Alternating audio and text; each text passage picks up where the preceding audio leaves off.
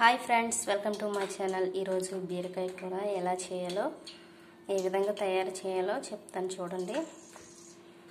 బీరకాయ ఉల్లిపాయలు టమాటా పచ్చిమిర్చి ఎల్లుల్లిపాయలు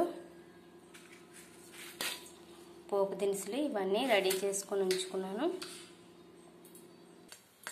కళాయి పెట్టాను ఆయిల్ వేసాను. ఇప్పుడు స్టార్టింగ్ పోపులు వేస్తాను.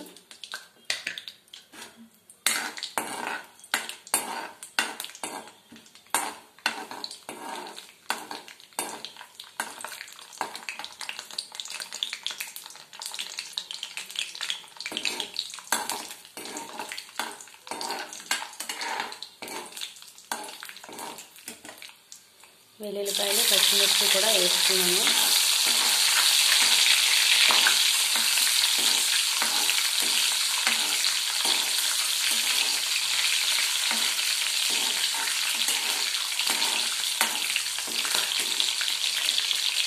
ఇప్పుడు ఇవి కొంచెం బాగానే వేగాయి.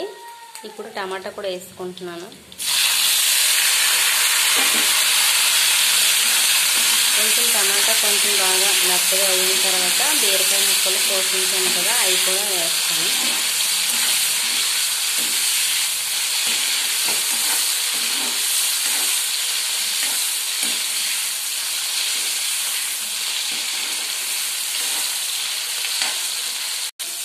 చూడండి ఫ్రెండ్స్ టమాటా కొంచెం బాగానే వేసాను కదా ఇప్పుడు బీరకాయ ముక్కలు వేసుకుంటున్నాను. చూడండి బీరకాయ ముక్కలు కోసుకుంటాను కదా అవి కూడా వేసి.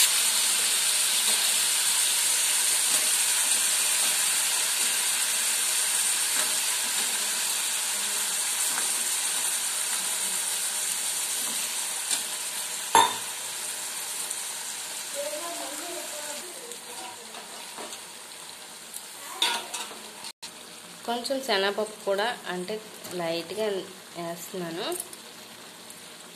ఎక్కువ వేయట్లేదు. అంటే లైట్గా కలిపితే బాగుంటుంది అంటే బీరకాయ శనగపప్పు. అందుకోసమని వేసుకుంటున్నాను.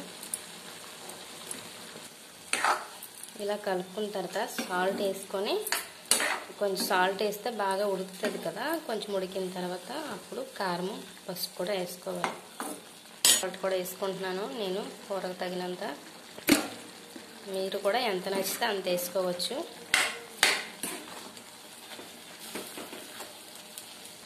టెన్ మినిట్స్ ఇలా మగ్గిన వరకు ఉంచుకొని తర్వాత కారం పసుపు వేసుకోవాలి. ఇప్పుడు నేనైతే మూత పెట్టి ఉంచుకుంటున్నాను.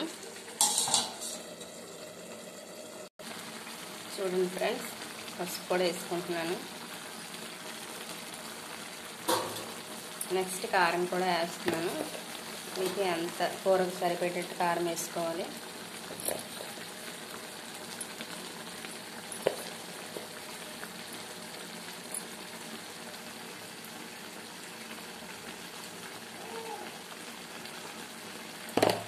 ఇప్పుడు బాగా కలుపుకోవాలి. కలుపుకున్న తర్వాత కొంచెం వాటర్ వేసుకొని మూత పెట్టుకుంటే కూర ఉడికిపోద్ది. బీరకాయ కూర వాటర్ అంటారు ఇంకెందుకు వాటర్ వేయడము అని అనుకోవచ్చు. కానీ శనగపప్పు కొంచెం ఉడకాలి కదా. ఇది నీరు కూర ఫ్రై అనుకోండి. అలాగా వాటర్ వేయకుండా అదే వాటర్తో ఫ్రై చేయొచ్చు. దీన్ని బీరకాయ నీళ్ళు కూర అంటారు. నీళ్ళేసి కొంచెం జ్యూస్ జ్యూస్ లాగా ఎక్కువ కూర కావాలంటే వాటర్ వేసుకోవాలి. లేదు ఫ్రై లాగా దగ్గరగా ఉండాలంటే వాటర్ వేయకుండా కూడా ఫ్రై చేసుకోవచ్చు.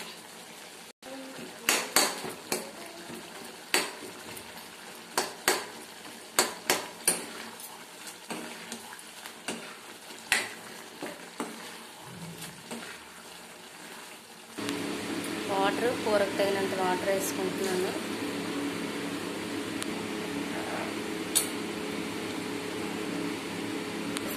తర్వాత ఇలా మూత పెట్టుకొని టెన్ మినిట్స్ ఆగాక కూర దగ్గరగా అవుతుంది. చూడండి మధ్యలో మూత తీసుకొని కలుపుకోవాలి. బీరకాయ శనగపప్పు కూర. అలా కలుపుకుంటుంటే కొంచెం దగ్గరగా మరీ నీళ్ళు ఎక్కువ ఉండకూడదు తక్కువ ఉండకూడదు. మీడియంలో మీడియం వరకు కూర వచ్చినంత వరకు చూసుకోవాలి. బీరకాయ శనగపప్పు కూర రెడీ. మీరు కూడా ఇదే విధంగా చేయండి. బాగుంటే లైక్ చేయండి షేర్ చేయండి సబ్స్క్రైబ్ చేయండి. ప్లీజ్. ఓకే బాయ్ అండి. Thank you.